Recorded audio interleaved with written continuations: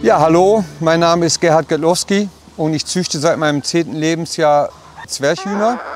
Bin dazu gekommen, weil ich das so faszinierend fand, wo ich gesehen habe, dass die Henne das erste Mal ein Ei legte.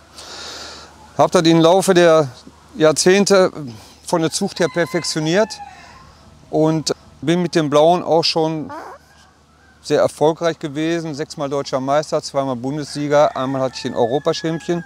Die Zucht der Blauen ist eine seltene Zucht, aus dem Grunde, weil die spalterbig sind. Man sagt im Durchschnitt bei drei gestüpften Küken ist ein Küken dabei mit der richtigen Farbe. Ein schwarzes und ein Splash, die es auch anerkannt werden.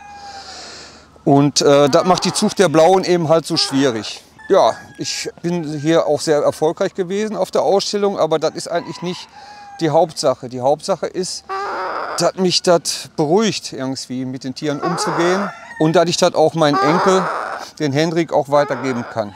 Und hoffe, dass er dafür Leben irgendwie was lernt, wie er mit Tieren umzugehen hat und dass nicht alles so aus der Dose kommt, was man isst.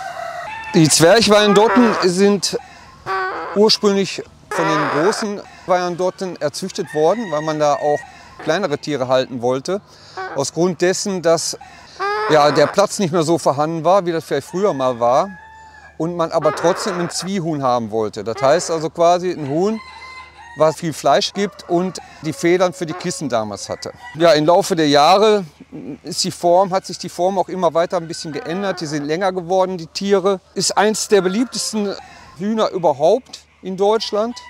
Wir nennen die ja auch die deutschen Zwerchwallendotten weil wir den Standard dementsprechend auch äh, geändert haben. Wir kamen mit 1000 Gramm pro Henne und 1200 Gramm pro Hahn nicht klar und sind jetzt deswegen auf 1800 Gramm beim Hahn und 1400 Gramm bei der Henne gestiegen. Aus dem Grunde gibt es jetzt zwei Typen eigentlich. Es gibt die deutsche Linie mit diesem Gewicht und es gibt die alte Linie, die amerikanische Linie. Ursprünglich kommen die vom Stamm der Wyandotten aus Nordamerika. Die gab es damals in diesem äh, Silberton. Silberschwarz gesäumt heißt er heute. Und von daher hat sich im Laufe der Jahrzehnte alle möglichen Farben gebildet, weil sie sind nicht immer reinerbig. Und mittlerweile gibt es auch schon, glaube ich, 25 verschiedene Zwerchwallendottenfarben. Ja, die legen so circa 200 Eier im Jahr, wenn du gute Hühner hast. manche weniger, manche mehr. Und die Eierfarbe ist weiß. Im Gegensatz zu den Großhühnern sind die Eier nicht viel kleiner als äh, äh, bei den Großhühnern. Also man kann sagen, zwei Drittel vom großen Ei ungefähr ist die Eigröße bei den Zwerchhühnern. Ich bin der Hendrik. Ich mache das ab, ab sechs jetzt. Ich habe die schwarz-weiß gescheckten Hühner. Die heißen Zwergweierndotten. Wir haben auch einen Futterautomaten und so. Und wir müssen zwar auch oft sauber machen, aber es macht halt nichts. Und ähm, drei Hähne sind hier aus der Ausstellung.